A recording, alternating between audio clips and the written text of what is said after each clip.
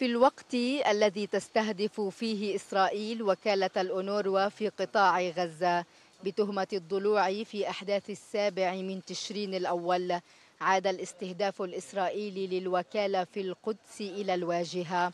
بقيادة أريا كينغ نائب رئيس بلدية القدس عبر دعوته إلى تنظيم تظاهرة الاثنين المقبل.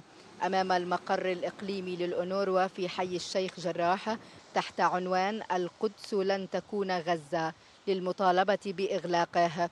دعوة كينغ هذه سبقتها دعوات له أيضا لإغلاق المقر ووضع نصب تذكاري للقتلى الإسرائيليين في حرب غزة مكانه. القرار بتعليق الدعم لوكالة الغوث هذا القرار الذي صدر بعد تلك الادعاءات الإسرائيلية فاجأنا بسرعته وفاجأنا أيضا بتوقيته. وكالة الغوث تعد شريان الحياة لملايين من اللاجئين الفلسطينيين في الشرق الأوسط حيث نعمل هناك خمس مناطق لعملياتنا في الشرق الأوسط وبالأخص نحن شريان حياة للاجئين في قطاع غزة.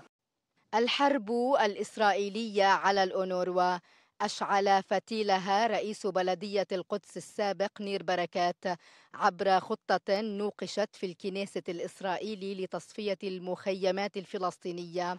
بدءا بمخيم شعفاط في القدس حيث كانت بواكير المخطط تحت عنوان تطوير البنية التحتية للمخيم الذي يقطنه ثلاثون ألف لاجئ وتغيير مسمياتهم من لاجئين إلى سكان يتلقون الخدمات من مؤسسات إسرائيلية. طبعا إحنا بنحكي من بوابة القدس الشرقية من مخيم شعفاط المخيم الوحيد الموجود اليوم حاليا في داخل حدود مدينة القدس. الخدمات إحنا مهدده أنها تنقطع علينا اللي هي الخدمات الصحية والخدمات التعليمية. إحنا بنحكي عن عدد كبير من سكان المخيم وأهل المخيم عايشين على هاي الخدمات. طبعا آه، وقفها وقطعها عن هدول اللاجئين بهدد حياتهم بهدد مصيرهم بهدد مستقبلهم. إحنا بنرفض إنها تتوقف وبنرفض إنها تنمنع.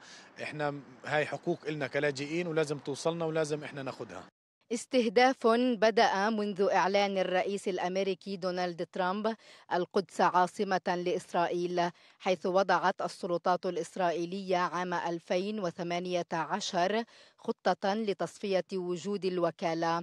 عبر إغلاق مدارسها وعياداتها ومراكزها الطبية في المدينة وتكبيلها بقوانين تتماشى مع الوضع الذي فرضه إعلان ترامب.